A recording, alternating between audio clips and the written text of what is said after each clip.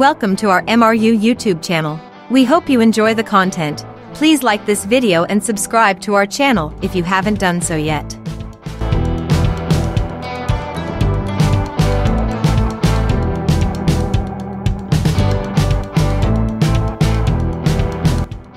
Pitot tubes are used to measure airflow. One of the most common and visible applications is on airplanes. Airplanes have several pitot tubes for security reasons. We offer pitot tubes, in combination with various manometers and gas analyzers to measure gas flow or airflow. Let's see how this works.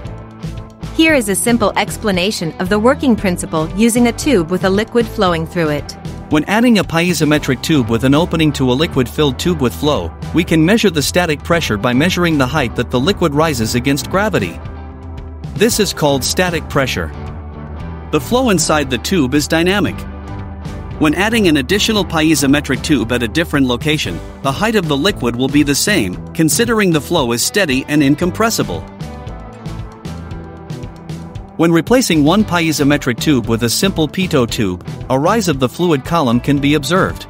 This extra height is known as dynamic pressure. When the fluid enters the pitot tube, the velocity of the fluid becomes zero and is converted into dynamic pressure. We therefore get stagnation pressure, also referred to as total pressure, which is the sum of static pressure and dynamic pressure. So stagnation or total pressure represents the pressure at a point where the velocity of the fluid has come to a complete stop. Now that we know the static pressure, the dynamic pressure, and the total pressure, we can calculate the flow using the Bernoulli equation. But no worries, you don't need to start calculating, our manometers and analyzers will do the math for you. As mentioned earlier, our pitot tubes are mostly used to measure gas or airflow. But the principle is the same as described before.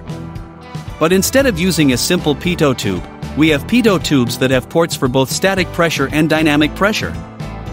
This can either be a L-type or S-type pitot tube. Our S-type pitot tube always have temperature measurement.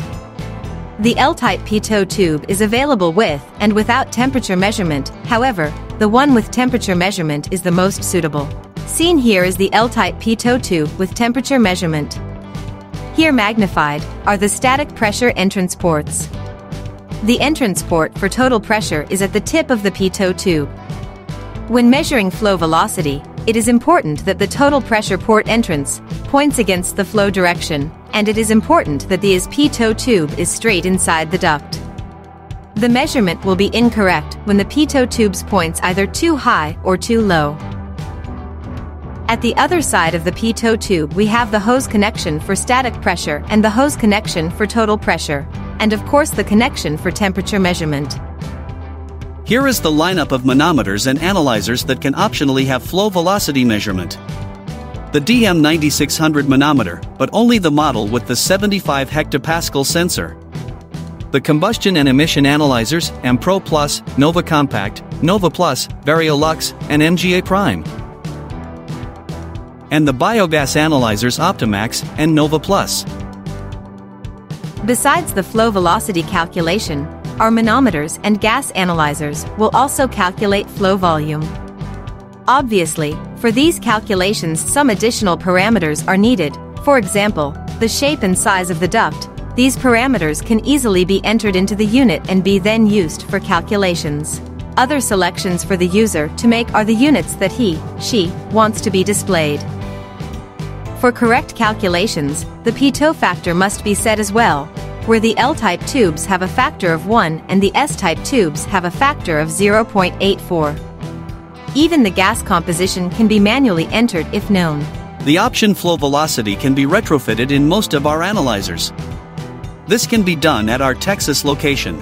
Please feel free to contact us if you would like to learn more about the flow velocity measurement and the possibility to upgrade your analyzer. Thank you for watching. Please don't forget to like this video and subscribe to our YouTube channel.